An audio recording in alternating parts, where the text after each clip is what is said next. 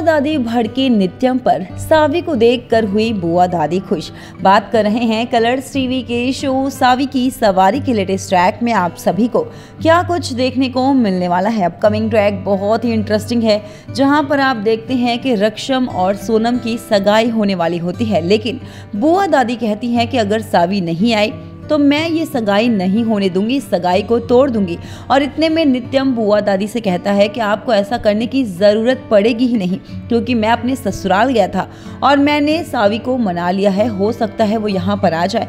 और बुआ दादी भड़क जाती है नित्यम के ऊपर और कहती हैं कि तुझे क्या ज़रूरत थी अपने ससुराल जाने की और उनसे भीख मांगने की? और तुझे क्या लगता है तेरे भीख मांगने से सावी यहाँ पर आ जाएगी? इतने में सबके चेहरे का रंग उतर जाता है, सबको लगता है कि सावी नहीं आएगी।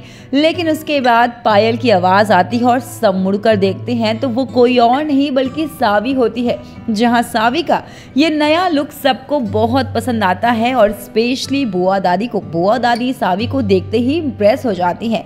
और नित्यम भी सावी कहीं ना कहीं अटैच होता हुआ दिखाई दे रहा है। अब ये देखना दिलचस्प होगा कि आखिरकार क्या सावी और नित्यम करीब आ जाएँगे बुआ दादी के वजह से? कमेंट सेक्शन में इस ट्रैक को लेकर अपनी राय बताएँ। वीडियो को लाइक और चैनल को सब्सक्राइब करना ना भूलें।